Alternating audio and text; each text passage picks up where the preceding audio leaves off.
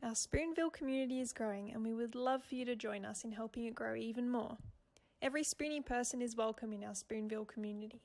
To make a spoonful person, all you need is a wooden spoon, spatula, or any other spoon you have at home. You can decorate with anything you like, just make sure it won't come off in the rain or wind. You can use pencils, textas, paint, pipe cleaners, fabric, or anything else you can think of to create your very own spoony friend. Let your imagination go wild.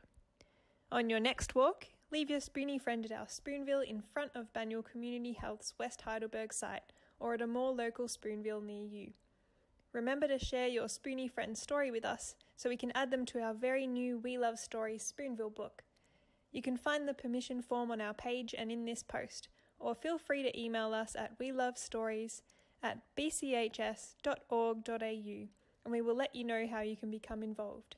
We can't wait to meet all your wonderful spoony creations.